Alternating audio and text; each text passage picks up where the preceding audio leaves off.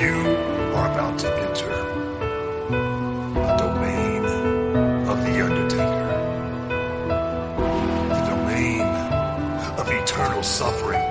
Welcome to Hell's Playground.